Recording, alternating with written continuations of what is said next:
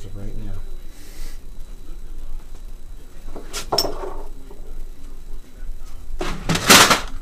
That machine looks great. This one came out good, right? Yeah. Look at that. So I put a uh, an RPM counter on it. Mhm. So it gives us RPM. You're in the shot. Perfect. It has um, feed. It has a clutch mechanism that can drive the carriage in the x-axis,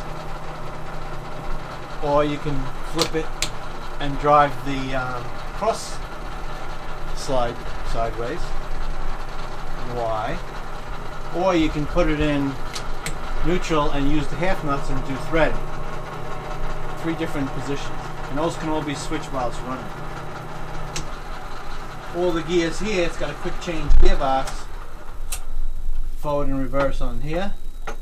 And you can change speeds but this. And all that you do while the machine's not running. So that you don't jam the gears up.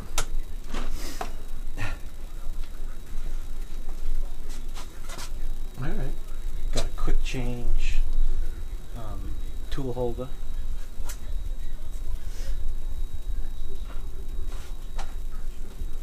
And this one you change the uh, belt speed by picking the cover up. It loosens the belt, and then you can swap the,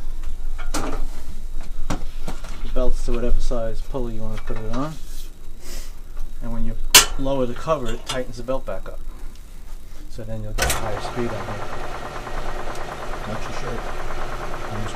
On this point. So you're up to 500 now. Yeah, it's got. Cute, right? Yeah, it came out really nice. It looks beautiful.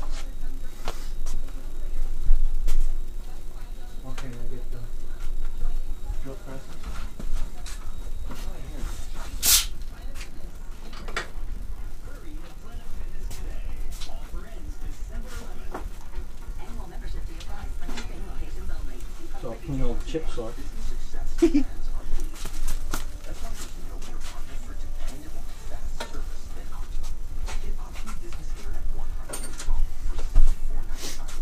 This was the oldest one I got. And I put two tables on it.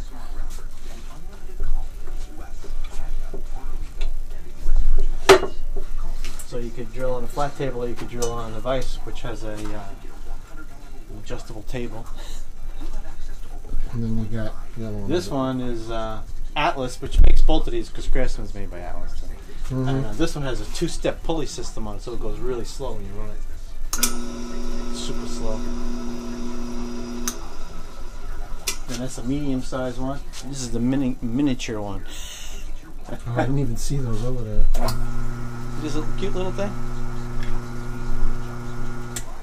Look at that. That's nice. Isn't that cute? That is very cute. Where'd you pick that up from? I got on Craigslist.